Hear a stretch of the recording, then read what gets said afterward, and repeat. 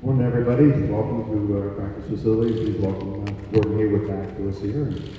Good to see a nice familiar face. Uh, We're going to pass the microphone around for uh, questions uh, from you folks, Gordon Williamson, and uh, go from there. Thank you.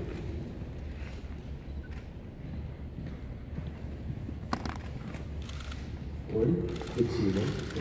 Yeah. Uh, well, just, just first right off the bat, just, just let us, tell us how you're feeling right now and just where you are in terms of your spirits after obviously a very trying situation that you're Yeah. going through. Um, yeah, I mean, it, it feels good to, uh, to talk in front of you guys and to get out of the house a little bit. Um, definitely a little more mobile than I was a week ago, two weeks ago. Um, so, you know, on, on the road to recovery and, um, you know, excited to, to attack that. Gordon, I'm sure this time when you played and you've been in the air and you kind of knew that, hey, this is going to be, I got to correct myself so I fall correctly. Yeah.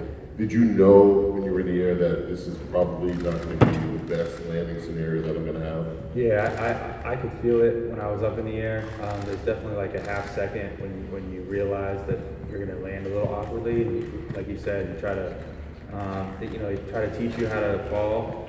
Um, kind of learn to do that over the years to, to fall the right way. But uh, for whatever reason, my leg was just it was caught underneath me, and there was not much that I could do. So.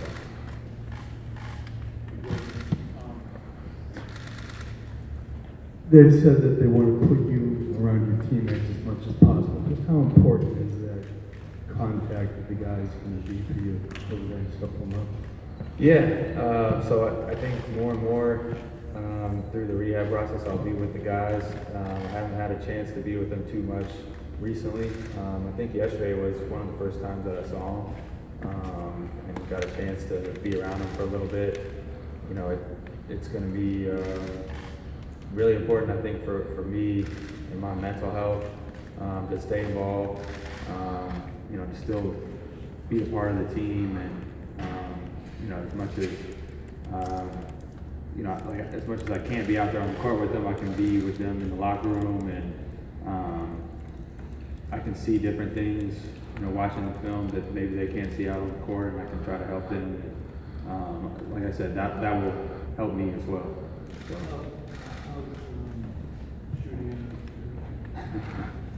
Uh, shooting out of the chair is a little bit different than shooting standing up. Feel pretty short.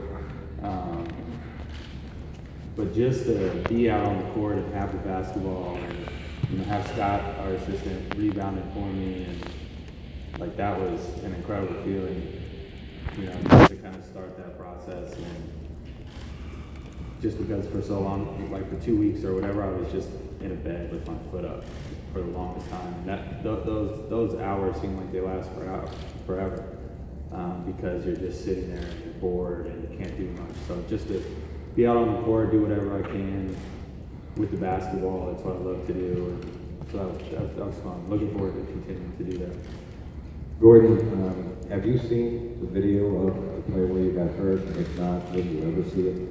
Yeah, I have seen the play. Um, it's kind of hard not to, to see it with the social media that we have today. And the first thing that I saw was the picture of it. Um, and it's, I, I have a lasting image in my mind to begin with of rolling over and looking at it.